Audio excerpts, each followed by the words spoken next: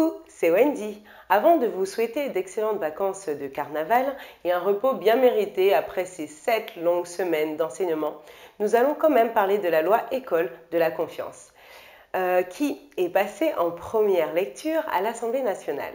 Trois de nos quatre députés ont voté pour. Que dit cette loi? En substance, plein de choses, mais son premier objectif est de faire taire les enseignants en leur inventant un devoir de réserve qui n'existe pas légalement. Le second objectif est de supprimer la démocratie qui existe dans les conseils d'administration en permettant des délégations de compétences accrues aux commissions permanentes.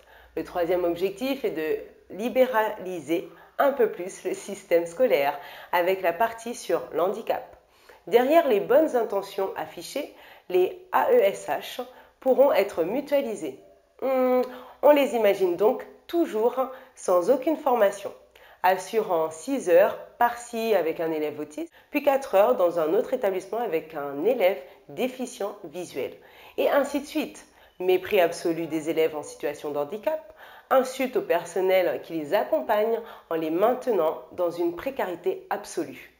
À peine cette loi passée à l'Assemblée nationale, le ministre de la fonction publique présente aux organisations syndicales un projet de loi de réforme du statut des fonctionnaires qui prévoit de faire exploser le paritarisme en supprimant toutes les commissions paritaires qui empêchaient les injustices et assuraient au public une garantie de service de qualité.